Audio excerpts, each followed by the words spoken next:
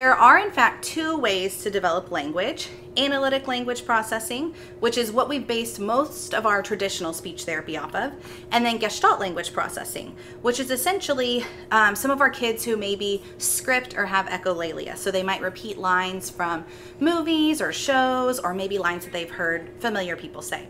So, a lot of our therapy has been based off of analytic language processing. So, learning small units of language like single words and then combining those words into phrases and then to sentences in conversation. So, kind of a bottom up approach.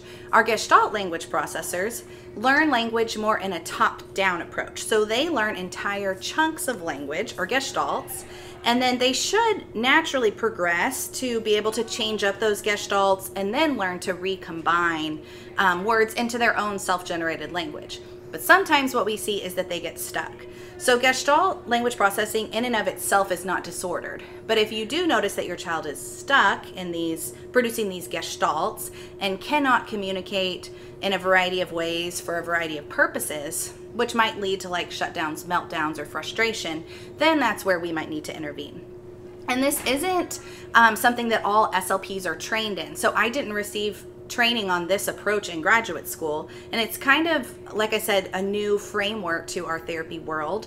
So if your child is a Gestalt language processor, you really need to find someone who is trained in this approach.